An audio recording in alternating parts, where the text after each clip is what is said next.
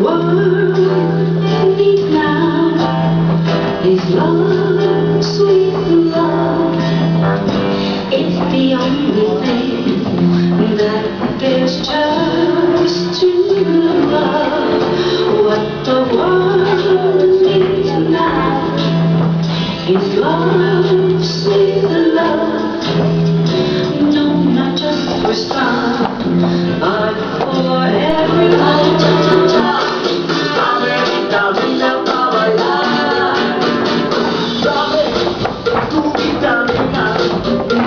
No puedo yo vivir sin consumir medicina, dame la vitamina que fuego de tus ojos al mirarme